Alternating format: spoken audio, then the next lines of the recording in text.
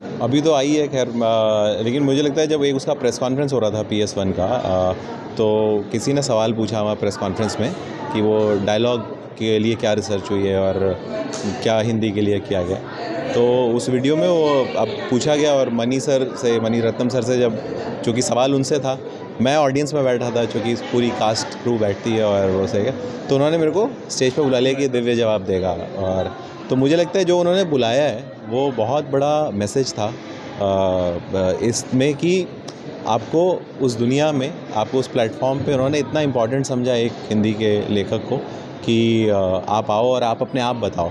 और वो भरोसा करना, क्योंकि बहुत मल्टी स्टारर फ़िल्म है, बहुत बड़ी फ़िल्म है, जहाँ पे कुछ ऊपर नीचे ना हो जाए, कुछ आप गलत ना बोल दें तो वो भरोसा था। दूसरे अगर पता नहीं आपने पी एस वन का अगर पोस्टर आप देखोगे तो उसमें उन्होंने बहुत बड़े में नाम दिया है नॉर्मली जो बहुत ही अच्छे से मतलब मुझे मैं बात बताता हूँ कि जब आया था पोस्टर तो मैं तो अपना नीचे छोटे वाले में नाम ढूंढ रहा था तो मैं वहीं चेन्नई था उस दिन।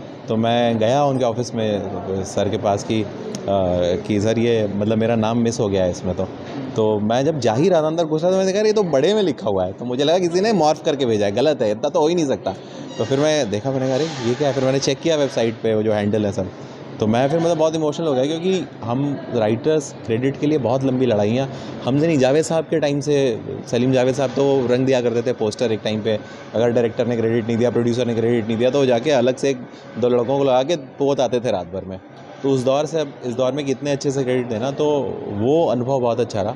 और अभी तो मैं सिंक ही नहीं नहीं कर पाया क्योंकि अभी तो पिक्चर चल ही रही है कि अब धीरे धीरे तो जैसे जिस तरीके से लोगों ने लिए डायलॉग या जिस तरीके से फ़िल्म को लिया तो अच्छा लग रहा है अभी तो फ़िलहाल। जिस वक्त मणिरत्न साहब का बुलावा आया था एक बार तो आपको लगा था कोई फेक है जी, जी। वो क्या इंसिडेंट है? नहीं वो मुझे ये पता था कि वहाँ से आना है क्योंकि मेरे को पहले इस तरीके का आया था लेकिन चूँकि एक दो महीने उसके बाद आया ही नहीं तो मुझे लगा अरे वो बात आई गई होगी कोई मिल गया होगा राइटर या फिर इस तरीके का होगा।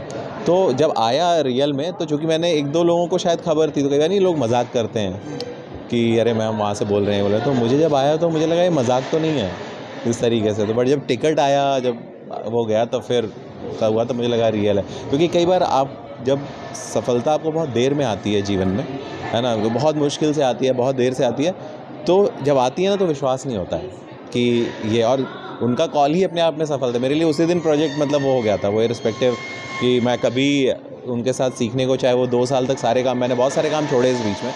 तो वो बड़ी बात थी तो मुझे जिस वक्त का पूरा हाथ में आया था। कितना टफ टास्क था और कैसे कैसे नहीं वो मैं चूँकि पढ़ने में थोड़ा तेज हूँ मैं मतलब वो मेरी आदत है चूँकि ज़्यादा पढ़ने की तो वो मैं पढ़ के ही एक तरीके से तैयारी के साथ गया था और वहाँ पे भी टीम जो बहुत दिनों से काम कर रही थी तो उन्होंने बहुत डिटेल में मेरे को डाउनलोड दिया था उसका कि ये है और हम इस पूरे किताब में से अ, हम ये हिस्से पर फ़िल्म बना रहे हैं हम ये ले रहे हैं ये ले रहे हैं। तो वो मेरे लिए इतना मुश्किल वाला काम नहीं रहा एक्चुअली क्योंकि वहाँ पे टीम पहले से जो उनकी असिस्टेंट है सना तो उन्होंने मेरे को बहुत अच्छे से गाइड किया। और अच्छी बात ये थी कि उनको हिंदी भी आती थी। तो मेरे लिए वो थोड़ा रास्ता आसान हो गया, जो नॉर्मली थोड़ा लैंग्वेज बैरियर जो रहता है। क्योंकि कितना भी आप कर लो, थोड़ा कम्युनिकेशन अंग्रेज़ी में रह जाता है, कोई बात समझने में रह गई, कहीं गलती से, इतना कुछ है। तो वो अच्छा रहा मतलब उस हिसाब से। जिस वक्त सारा कुछ हुआ, उस वक्त मणिरत्न अपने आप में बहुत बड़ा नाम चीज़ का जी। लेकिन उस वक्त ये सोचा था स्टार कास्ट जो है ये इतना लंबा चौड़ा होगा इतने बड़े बड़े नाम होंगे नहीं नहीं वो जो कि मेरे को बाद में आया ना ये तमिल में फ़िल्म पहले से बन रही थी और सब हो रहा था तो जब ये आया तो वो स्टार कास्ट का नाम था कॉन्ट्रैक्ट पे। और मैं इसी बात से बड़ा वो हो रहा था कि अरे इसी पेज में इतने बड़े बड़े लोगों का सबका नाम लिखा है इसी पेज में मुझे नीचे साइन करना है। तो ये बहुत अंदर से मतलब वो बहुत दिन तक मुझे मैं सही बता रहा हूँ जब तक मैं कमरे में नहीं गया सर से मिलने वहाँ पर और जब मैं मिला उनसे तो वही लग रहा था कि अरे ये दिल से पीछे चल रही है पीछे बॉम्बे चल रही है पीछे नायगन चल रही है तो वो उस तरीके का था तो वो मतलब वो सिंक इन होने में समय लगा। वो इनफैक्ट प्रोजेक्ट पे जब काम कर रहे थे तो डर भी था क्योंकि अ, ऐसा भी हो सकता है ना कि आपका काम नहीं समझ में आया तो राइटर बदल जाए। तो एक इनसिक्योरिटी ये रहती है एक एंगजाइटी भी रहती है। तो जब हम भेजते थे ड्राफ्ट तो हमेशा डर भी रहता था कि क्योंकि ये बहुत बड़ा प्रोजेक्ट है ना आप आप कर रहे हो इसलिए नहीं हो जाना चाहिए। वो उस लिहाज से फिट होना चाहिए। तो वो डर भी था। तो जब तक मैं तो इसीलिए किसी को भी उसके बाद नहीं बताया। जब वो टीज़र में नाम आया तब मैंने फिर सबको पता चला कि हाँ ये मैंने काम किया है। मैंने किसी को मेरे घर में दो एक दो लोगों को बताया था बस। फिर डबिंग वगैरह होता था वो वो कितना लंबा तक काम वो बहुत लंबा चला हम लोग का। ऑलमोस्ट तीन महीने हम लोगों ने डबिंग की और बहुत ऑडिशन के। इनफैक्ट जो ऐसे भी डायलॉग हैं जो फ़िल्म में किसी एक डायलॉग हैं किसी करेक्टर या दो डायलॉग हैं उन तक के लिए हमने ऑडिशन लिया। हमने ऐसा नहीं किया कि कोई चलते हुए व्यू आर्टिस्ट के साथ काम किया। तो उसमें बहुत मेहनत की सभी लोगों ने और तब मैंने एक्चुअली सीखा कि जो एक्टर्स डबिंग करते हैं और एक व्यू आर्टिस्ट कई बार करता है तो इसीलिए अच्छे एक्टर्स की डबिंग ज़रूरी है। जैसे रणवीर शौरी सर ने किया है उसमें और वो इतनी अच्छी आवाज़ दी उन्होंने वल्लभ रायन बंदे थे उन जो वी नाम के कैरेक्टर हैं। और इतने अच्छे से मतलब लग रहा है कि अरे इन्होंने बिल्कुल इन्हीं के लिए बना था वो वैसा।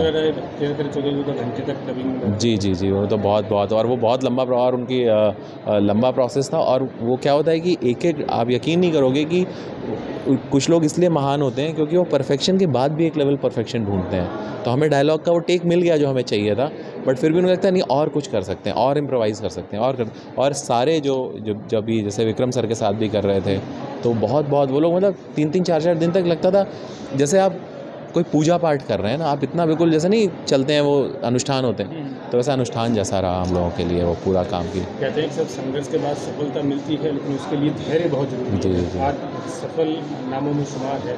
उसके लिए संघर्ष दिखाओ वो कितना कठिन मेरे को ना संघर्ष जैसा लगा नहीं क्योंकि ना ये मेरा चुना हुआ रास्ता था। है ना? जो धैर्य वाली आप बात बोल रहे हो जैसे हमारे यहाँ वो रामचरित मानस में वो लाइन है ना कि धीरज धर्म मित्र और नारी आपातकाल पर कहीं चारी। तो धीरज जो इकलौती चीज़ है धर्म मित्र और नारी ये कोई बाहर के लोग हैं। जो धी धैर्य है जो धीरज है वो अपना है। हमारे हाथ में कर्म करना ही है ना। तो वो था लेकिन ये ऐसा नहीं था कि स्ट्रगल की तरह मैं देखता था, क्योंकि मैंने चुना था।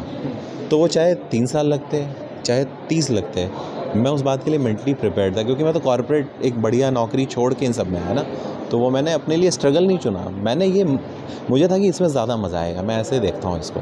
जैसे मैं स्ट्रगल की तरीके से नहीं देखता हूँ इस पूरे चीज़ को। इसलिए मुझे जो स्ट्रगल की तरीके से देखते हैं ना, जैसे बहुत लोग बम्बई में आते हैं या होते हैं, हम यार दो साल ये दे लें, तीन साल। मुझे लगता है वो अप्रोच गलत है। आप कोई भी ऐसी चीज़ में घुसिए जो आपको परेशान करती रहे करती रहे करती रहे और आप उससे थके नहीं। हमेशा वो फ़ील्ड चूज़ करनी चाहिए जिसमें आप ना थकें। नॉर्मली लोग समय के हिसाब से जब आते हैं तो थक जाते हैं। अरे दो साल तैयारी करेंगे, दो साल करके देखेंगे, होगा होगा। वो अप्रोच ही सही नहीं है। आप सोचिए ना, अगर आप कोई इस दुनिया में अपना इम्पैक्ट छोड़ना चाहते हैं तो दो साल में कोई चीज़ नहीं होती। एक घटिया से घटिया इंजीनियर इस देश में चार साल की इंजीनियरिंग और एक साल की कोचिंग के बाद बनता है ना तो आप तो इम्पैक्ट छोड़ना चाहते हो लोगों पर तो आपको वो चार पाँच साल, दस साल तो सोचना ही नहीं। सवाल। आपके शब्दों को पहले भी बहुत प्यार मिलता है अब रुपहले पर्दे पे प्यार मिल रहा है उस बात की कितनी खुशी वो मुझे जो सबसे ज़्यादा खुशी हुई कि बचपन से हम लोग पोस्टर देख रहे हैं फ़िल्मों के है ना? बचपन से देख रहे हैं वो कि ये पिक्चर लगी है ये लगी है। तो मैं इसीलिए लखनऊ स्पेशल स्क्रीनिंग के लिए गया अपनी माता जी को लेके गया क्योंकि वो बेचारी जब मैं जब हम लोग मैं उस दौर में मैंने ट्वेल्थ और ट्वेल्थ किया जब अखबार में रोल नंबर आते थे अब ऑनलाइन नहीं था। तो वो वो बेचारी इतनी भोली थी कि मेरे को याद है आईआईटी का रिज़ल्ट आया था वो, उसमें कुछ। तो रोल नंबर उन्होंने ढूंढा तो मेरे से पहले वाले का था, मेरे से बाद वाले का था। मेरा नहीं था। तो उनको लगा मिसप्रिंट हो गया होगा। तो उन्होंने पाँच अखबार मंगाए। तो वो पाँचों अखबार तो मुझे ये बड़ी खुशी होती कि जो वो रोल नंबर छोटा सा ढूंढ रही थी, अब कम से कम उनको नाम मिला कि एक बड़ा कहीं पे मिला। तो वो खुशी है। और मैं उस, यही मानता हूँ कि हम जो अपने दो चार लोग आसपास वाले होते हैं, उनके लिए ही सब कुछ करते हैं। है? हाँ बाकी दुनिया को अच्छा लगता है, वो बोनस है। हम और बहुत डीप डाउन हम अपने लिए ही करते हैं। तो मैं मैं भी अपना खोया हुआ रोल नंबर बहुत दिनों से ढूंढ रहा था। अब शायद वो एक दिशा मिली है और आगे मिले और रोल नंबर खो ना जाए। अब ये है कि वो बचा के भी रखना है। यू